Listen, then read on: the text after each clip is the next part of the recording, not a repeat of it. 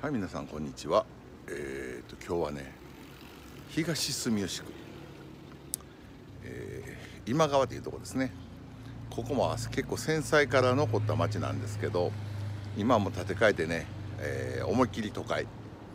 都会っていうとまあ住宅地なんですけどね。その近辺に来ております。そこでねあの今川会館の中にある中根碑。ちょっとご案内したいと思います。ね今川会館でも中今日入れないんでねこんな感じです。中根碑。ね。なんか中にあるんでね手も合わしにくいんですけど。これをちょっと今日はご案内したいということで。でねあとねここはねちょっと面白いんです。面白いって言ったらおかしいんですけどね。こなしてこれ安永年間のね中なんですけども字が消えかけててちょっと読めない。門の跡地ということ。それとこれは今川のガスのなんかかな。昭和二十何年。でここに後期2600年。ね。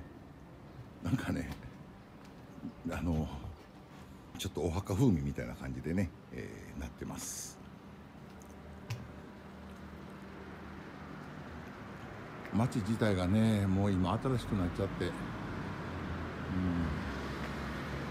こんな感じですね。まあ今日はね今川の中高碑というのをご案内で来ております。はい。ね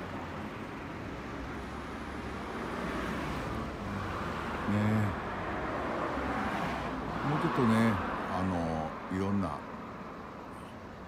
ね、とこが見れたらいいんですけど中はちょっと今日は入れないということでね、